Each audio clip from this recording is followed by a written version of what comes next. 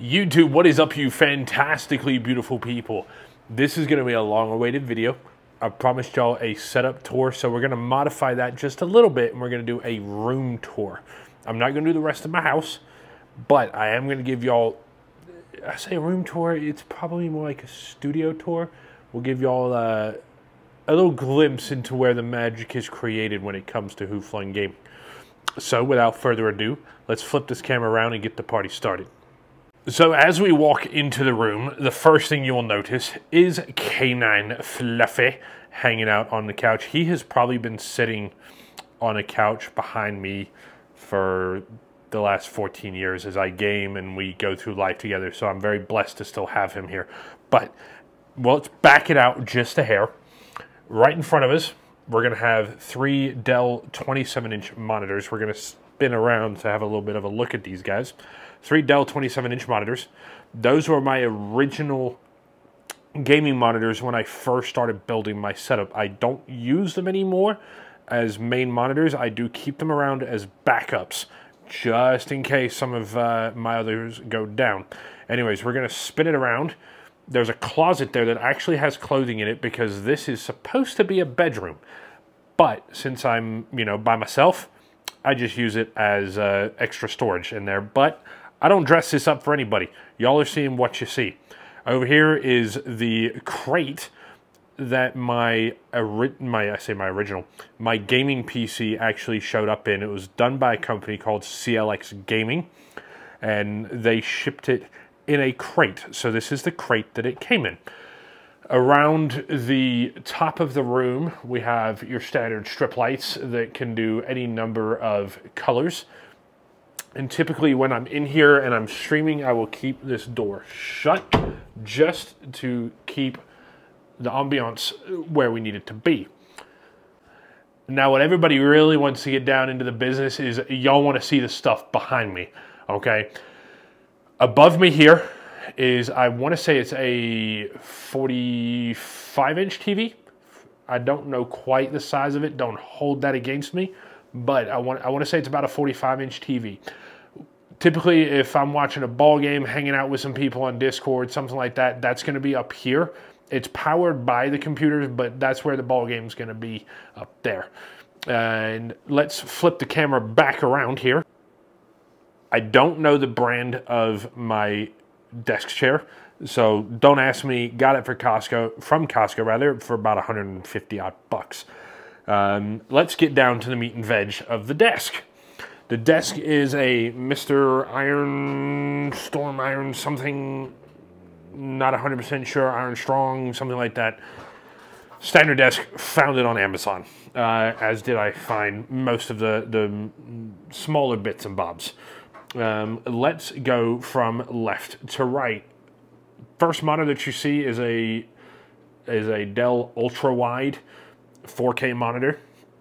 It's actually got the parts list for the monster that's over there pulled up so that I can get it accurate.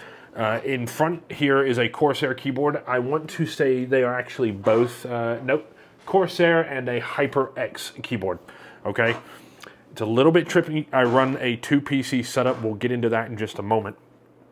Then we've got the first of two mice, because again, two PC setup, two mice, two keyboards. That's how I do it, depending on what I'm doing. Xbox controller is currently plugged into the computer. Depending on what I'm playing, that's what I use. Okay. Going, continuing our journey from left to right, we've got a, another LG. Uh, I want to say this is a 27-inch 4K standard, not ultra wide, obviously. This is the main gaming monitor. This is what I run my production off of. We've got the Stream Deck, which is this little guy right here which will control a lot of my OBS functions on my streaming PC when I don't want to move from keyboard to keyboard. I can intend, instead move from keyboard to Stream Deck. Continuing on, we've got the Go XLR sound mixer. Interesting piece of kit. We're doing a little bit of troubleshooting with this guy at the moment, so we're, we're looking into a few things, but interesting piece of kit. It controls all the audio from both PCs, OBS, everything from the game, you name it, Twitch alerts, the whole nine yards. That's what this guy controls.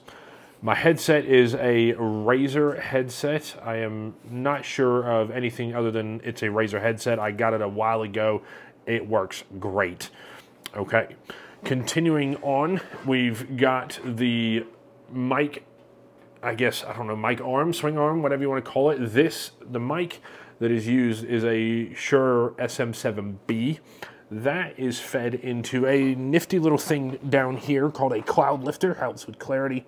That goes into the Go XLR, and then the Go XLR distributes it across what is needed. Okay, going back up to the top here, there we can see ourselves on the camera. That is my webcam. It is a Sony a6400 DSLR camera. It has got a continuous power source going in that way. It's very important if you're streaming with a webcam, that means that your webcam's not going to randomly turn off in the middle of your stream because it runs out of power. It's a continuous power source.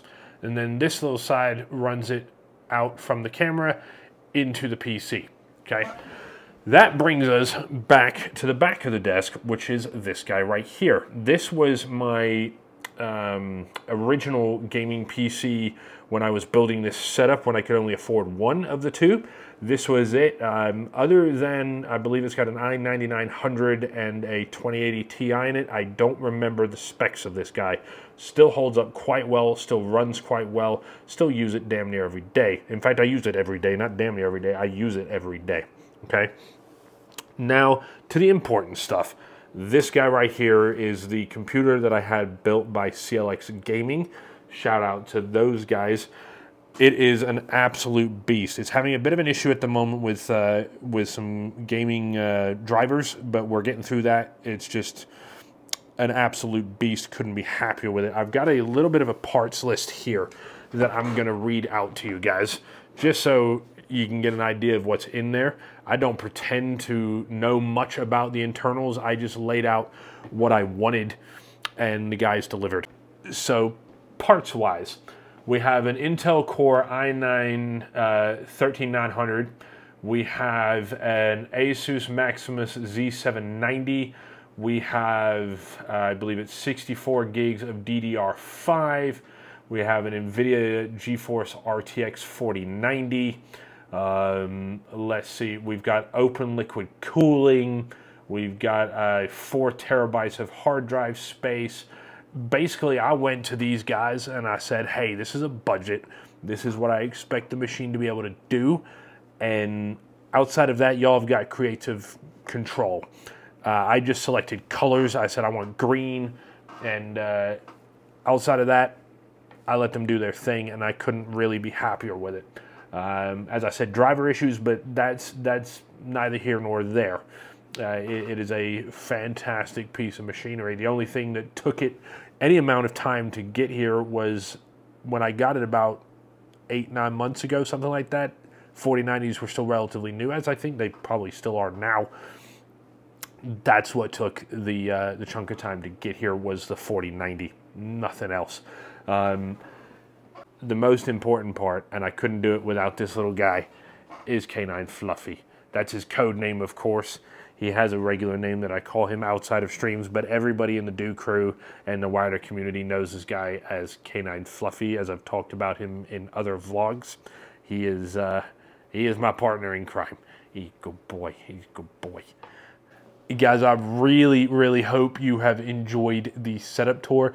Don't forget to like, comment, subscribe to the channel. Let me know in the comments if you uh, if you want a grander tour of the uh, the entire place where I live. I'll consider doing that if we get enough comments requests for it. Until then, hopefully I catch you in a stream or in the comments section of the video.